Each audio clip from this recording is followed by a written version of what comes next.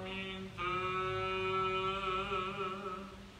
În vremea ce a venit Iisus cu corabia ținutul gherghesenilor, care este dincolo de apă, în fața Galileei.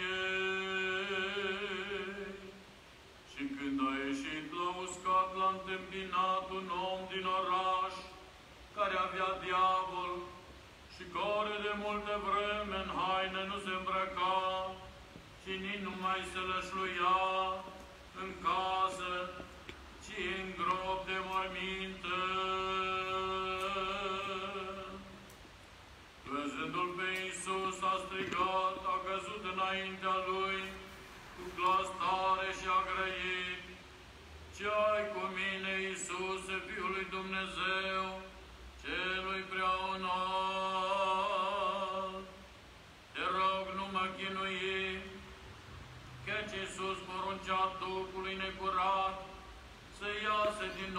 Acela, pentru că de mulți ani îl apucase și legau în lanțuri și în obezi și îl pezeau, dar el, sfărâmând legăturile, era mânat de diavol în pustie.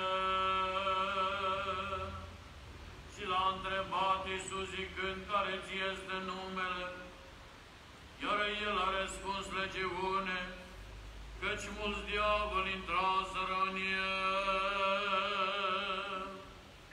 și rugau să nu le poruncească să meargă în adânc.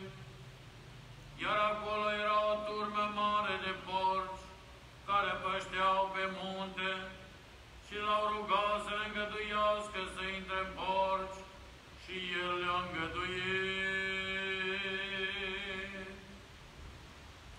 Și ieșind diavolii din om, au intrat în porci și turma a pornit spre țărm, în lac și s-a necat. Iar păzitorii porcilor, văzând ceea ce s-a întâmplat, au fugit și au dat de veste în oraș și prin sate.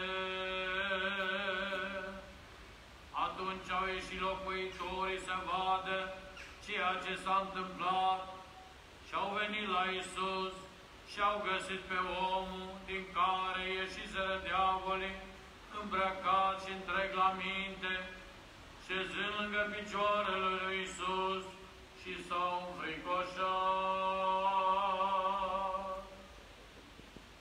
Iar în cei care văzuseră le-au spus cum s-a mântuit cel îndrăcit și l-a rugat pe el poporul ținutului gherghesenilor să plece de la ei, căci erau cuprinși de frică mare.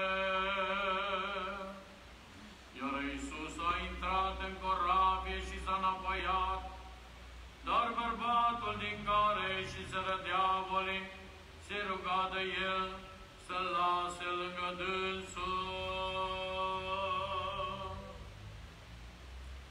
Iisus însă i-a dat drumul zicând, Întoarce-te la casa ta și povestește cât bine ți-a făcut ție Dumnezeu.